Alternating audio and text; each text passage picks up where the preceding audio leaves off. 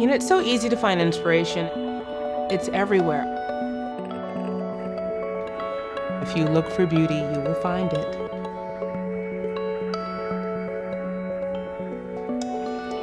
But sometimes you just have to wait for the universe to say, okay, now, and you have to be open to doing it then. You can't really force it, just get all the other wheels in motion so that when it comes, you know, you can glide with it. We had something new every day. Whatever was happening a season ago is not happening next season. That excitement just keeps churning. My creative process changes all the time.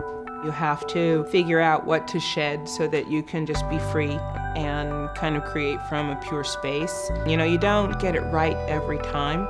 You're thinking, I could have put an elastic in the back of that waist and it wouldn't have compromised the style and it would have fit, you know, 20% more people.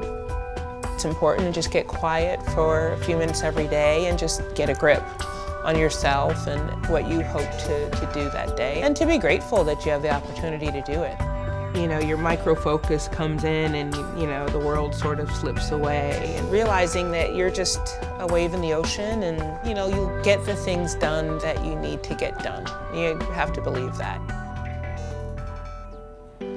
It's hard to boil the inspiration for fall 2015 down to one thing. It really starts looking at new fabrics for the season, what colors look amazing, what textures are really exciting. There's that kickoff, and then the things that influence you, you know, over the course of the next few months, it really builds. The biggest impact on my personal style is probably my mom and my grandmother to some extent. My mom was super curvy I mean, she had tiny waist and really round hips, and that's why she had to sew for herself. The fact that she tailored things to fit her figure, I think, influenced me a lot. And she used to always say things to me like, big legs look good in high heels. Like, yeah, they do, but I just can't wear those every day. But she did. My grandmother was super glamorous too. She loved to dress and she'd be wearing a white suit or she had a leopard suit or a black suit and she'd be posing like a movie star. And we're just like, oh my God, grandma's so glamorous. She looked like a black Ava Gardner or something, you know. She was just really, really cool dresser.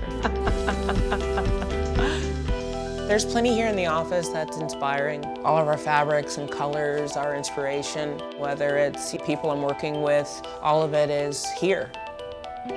Really have to take everything that you've put together, every bit of inspiration that you've assembled, and you know, put it into action and get the collection finished. Designers or anybody in the creative field, you're responsible for keeping yourself inspired, keeping your team inspired. And if I say, oh my God, I can't come up with another idea, then I can't. If I say, oh, there's always another idea, then there is. You decide to be inspired.